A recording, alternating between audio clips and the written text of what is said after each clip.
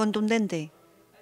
Así se puede calificar la respuesta municipal a las críticas realizadas por el Sindicato de Empleados Públicos sobre el funcionamiento de la residencia de Santa Lucía. Representantes de los diferentes colectivos profesionales y sociales vinculados con la residencia de ancianos, junto a la concejala de Juventud y Mayor, Isabel Gallego, han comparecido públicamente para desmentir las declaraciones realizadas desde el SEP. En el artículo el SEP dice que hay un exceso de medicación debido a que concuerdan dos programas informáticos que son Resiplus y Abucasis, ¿vale? No ha sido fácil gestionar dos programas mm, distintos de medicación cuando antes teníamos uno y encima con el mismo personal, ¿vale? Eh, lo que hacíamos era que Abucasi nos decía qué es lo que teníamos que prescribir, se imprimían las recetas y para evitar acúmulos de medicación, uno por uno se iban eh, entrando en todos los casilleros de la medicación y si veíamos que había dos cajas, pues nos sacábamos una tercera. Eh, por lo tanto, esa medicación no se pagaba. Eso en cuanto a lo que es el exceso de medicación. Eh, dentro de las tareas diarias que tiene enfermería, el personal de enfermería es controlar los excesos y defectos. Si detectan que hay tres cajas de, aspirina, puede ser que sea a un error humano, porque los hay. Entonces, ellos diariamente, cuando preparan la medicación, tienen que ver si hay excesos o defectos para mandar un mensaje a la coordinadora y al médico y que se subsanase.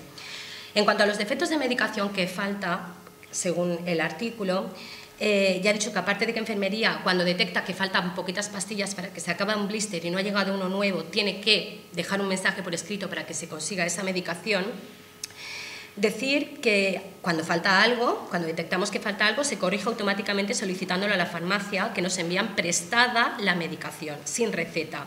Agradecer la confianza que las farmacias han depositado en nosotros puesto que a posteriori les hacemos la devolución de la, receta, valga lo que valga el medicamento. O sea, nosotros vamos un sábado por la mañana porque el viernes alguien ha ido a urgencias y le han pautado una medicación y aunque no haya nadie allí para prescribir ese medicamento en el programa que hace las recetas, llamamos a las farmacias y las farmacias nos prestan el medicamento.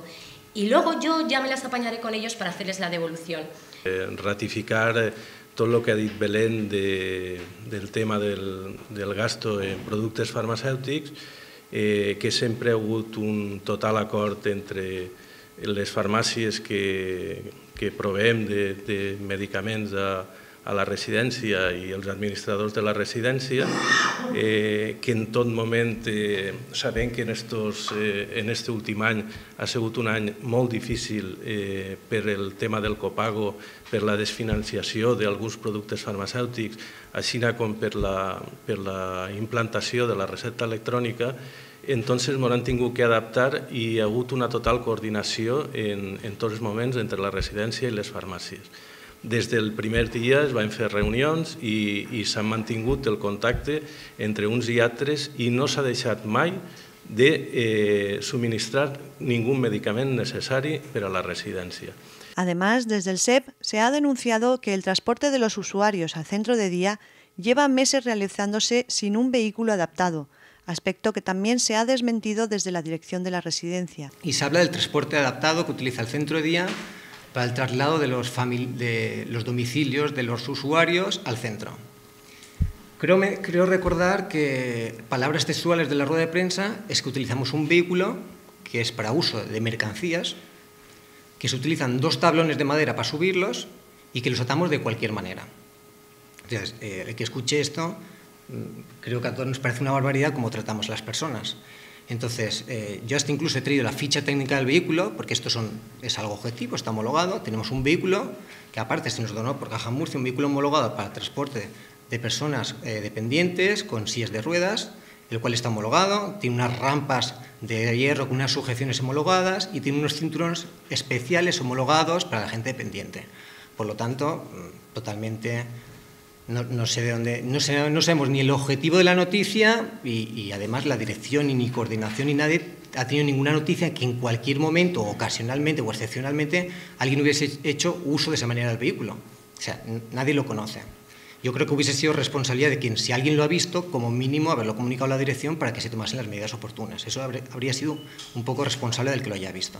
Al margen de toda polémica, representantes de los usuarios y familiares de pacientes han expresado su satisfacción respecto a la atención y el servicio que reciben por parte de todos los profesionales del centro. Que s'ha publicat en la premsa en la, que ha perjudicat un poc la imatge de la, o prou, que cap perjudicat prou la imatge de la, de la residència, volem netejar-la la següent opinió que ha preguntat a aquestes persones que han participat en les activitats exter i que tenen la suficientment per a, clara per a opinar, la seva opinió. La seva opinió és que estan molt conformes en l'actuació de la, del senyor director Pablo Pastor. En la qüestió de medicines estan extraordinàriament satisfets per la manera que se porta, no olvidant-se mai de atendre a ningú i en la necessitat i en el moment que ho necessita.